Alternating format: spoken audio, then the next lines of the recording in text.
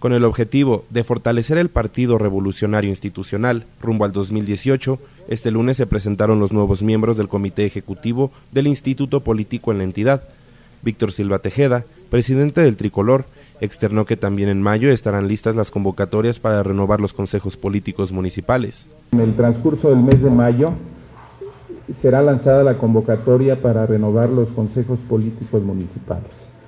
No sabemos todavía la ruta, y me refiero a la ruta que tengamos un calendario ya eh, determinado de fechas para eh, que se desarrolle ese proceso.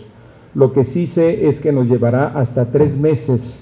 En rueda de prensa en la sede del PRI, a noroeste de la ciudad, Silva Tejeda subrayó la necesidad de renovar la estructura partidista como los marca el Instituto Nacional Electoral y que un paso era integrar su equipo de trabajo.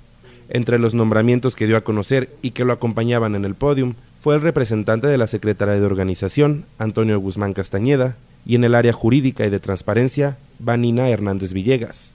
Detalló que durante el mes de mayo estará la convocatoria para renovar consejos políticos municipales y que el proceso durará tres meses. Añadió que también otras estructuras regionales y municipales del partido se renovarían con el objetivo de llegar al 2018 preparados. Asimismo, el presidente del PRI comentó acerca de la seguridad de Michoacán.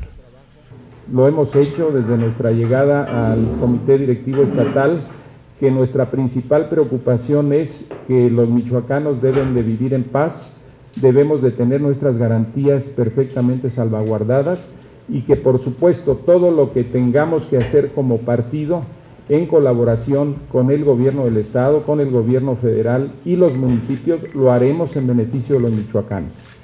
Con imágenes de Leopoldo Hernández e información de Juan Bustos, Agencia Cuadratín. Grupo de Oro presentó.